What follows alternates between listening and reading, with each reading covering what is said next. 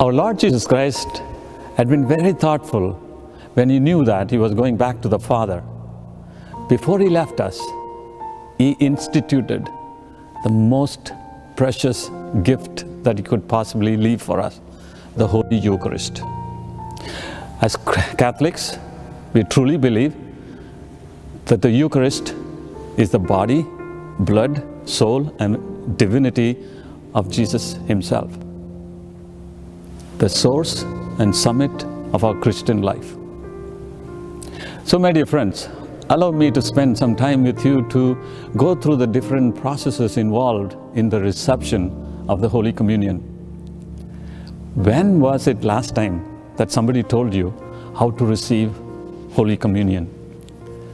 I'm sure it was when you were in your second grade preparing for First Holy Communion. But over time, we got so used to it that it has lost its charm, the value, the preciousness of the moment when you go to receive our Lord Jesus in the Eucharist. Reception of the Holy Communion consists of several stages and one of them is the communion procession. Any liturgical procession is a sign of the pilgrim church on the way to the heavenly Jerusalem. And when you stand in line for communion, you are a manifestation, a sign, a symbol of that pilgrim church on its way to Jerusalem.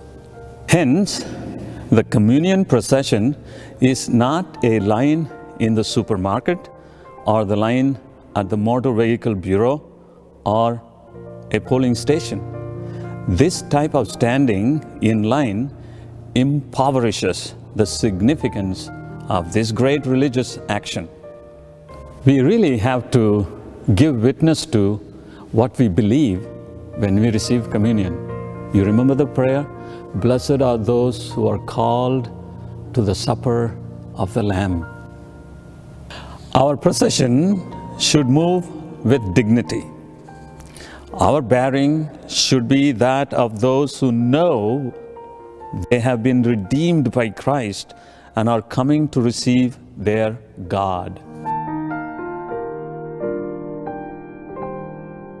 Reverence. We express our reverence, first of all, by a simple bow of the head as we approach the minister to receive the Holy Eucharist. This expresses both our individual and communal adoration of Jesus in the Eucharist, as well as the acknowledgement of our belief in the real presence of Christ in Holy Communion. Reverence is also shown in our bodily demeanor, namely our gesture, our clothing, our attitude, and so on. Does your receiving the Eucharist convey the respect, solemnity, reverence, awe, love, and the joy of the moment when Christ becomes our guest? just before stepping forward to the Eucharistic minister, make a reverent bow of the head. This is an act of adoration of Jesus in the Eucharist and an expression of our belief in the real presence of Christ in the Blessed Sacrament.